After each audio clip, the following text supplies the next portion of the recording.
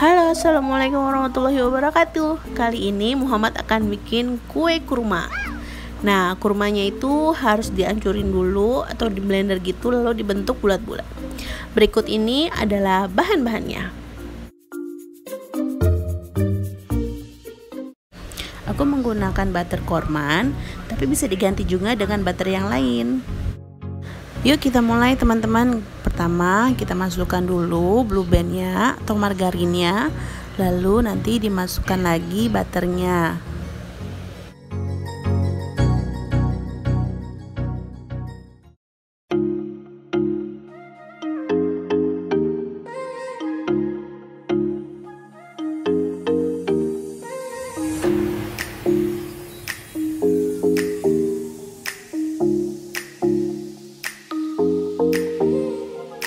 you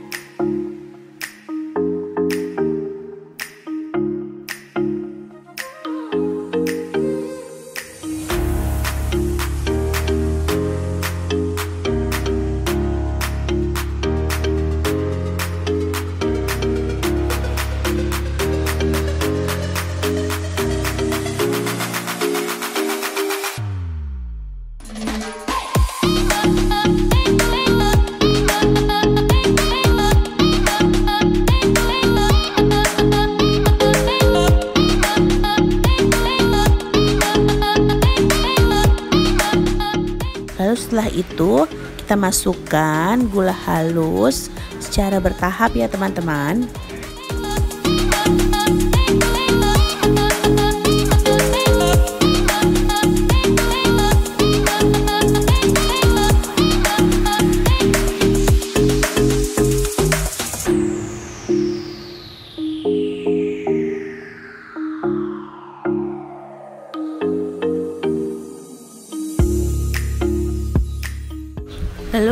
Masukkan kuning telurnya dan jangan lupa vanilinya secukupnya.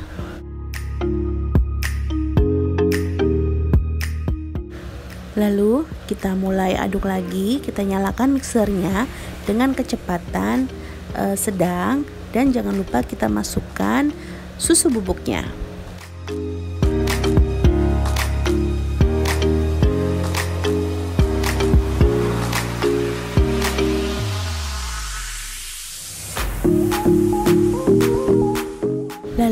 Secara bertahap kita masukkan tepung terigunya karena agar adonannya itu tercampur secara merata.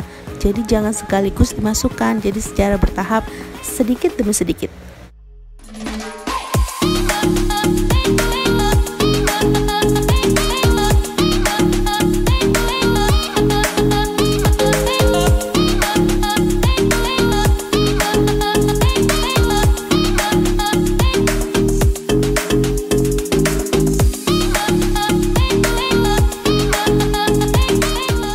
Oke kecepatan mixernya kita lambatkan ya. E, nanti kita akan stop karena ini akan kita campur lagi sisa tepung terigunya dengan e, menggunakan tangan diaduknya teman-teman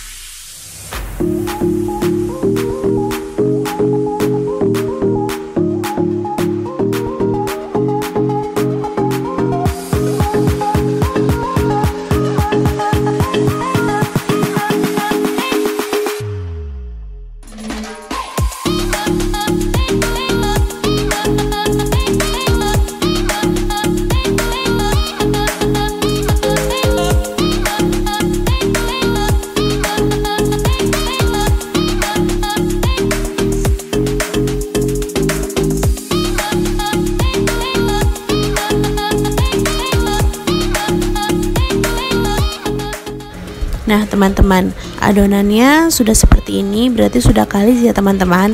Dan adonan ini sudah siap untuk dicetak.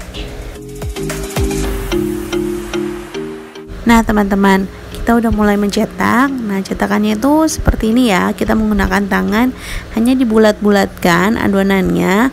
Lalu itu kurmanya sudah jadi yang bulat-bulat jadi siap tinggal dimasukkan ke dalamnya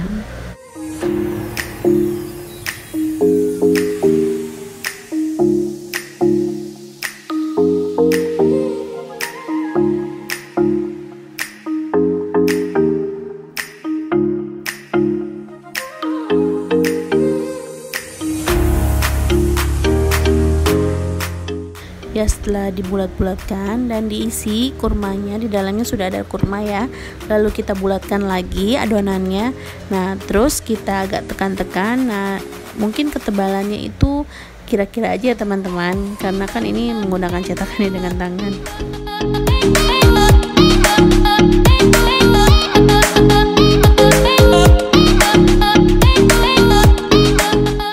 Ya, seperti ini kita pipihkan, lalu kita masukkan kurmanya ke dalam, lalu kita bentuk lagi, kita lingkarin lagi.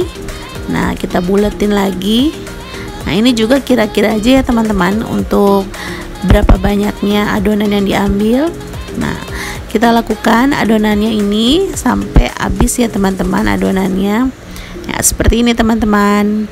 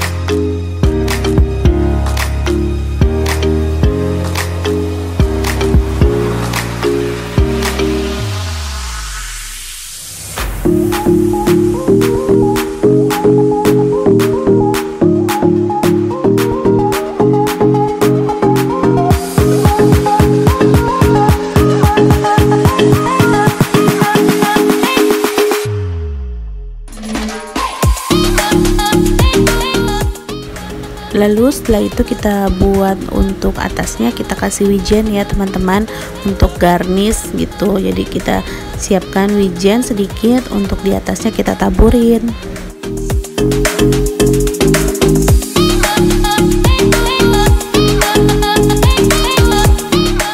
Lalu kita siap untuk memanggangnya. Nah, ovennya itu harus dipanasin dulu ya, teman-teman.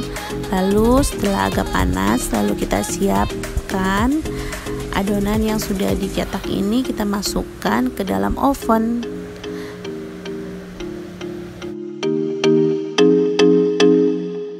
A few moments later. Yeay, udah jadi deh kuenya. Alhamdulillah, akhirnya berhasil.